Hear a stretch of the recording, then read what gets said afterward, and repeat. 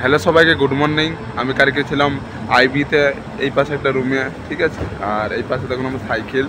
আর আমার সামনের চাকা আবারও পাংচার হয়ে গেছে, জানেন হয় কীভাবে। এই পাশে দেখিয়ে দিচ্ছি, দেখতে থাকুন। পাংচার হয়ে গেছে, দেখছে, এই দেখো।